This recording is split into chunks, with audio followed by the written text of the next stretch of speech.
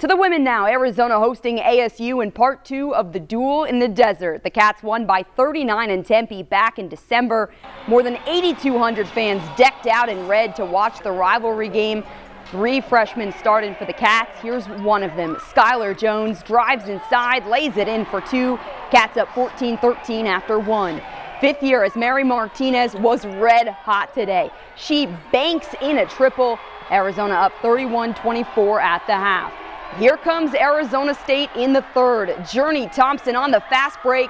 Game tied at 41. Arizona showing its heart. Helena Pueyo to Martinez. She kisses it off the glass. Martinez battling a migraine, but you wouldn't know it. 18 points, 15 rebounds for her. Later, Pueyo steals the ball, finds Jones in transition. And she gets the bucket and the foul. Pueyo just stuffing the stat sheet tonight. 11.6 boards, 4 assists, 3 steals. Arizona pulls away in the fourth quarter to beat ASU 63-52. The Cats complete the regular season sweep. This was a really good win for us. Um, ASU is, we knew coming in they were playing a lot better than they were a month ago.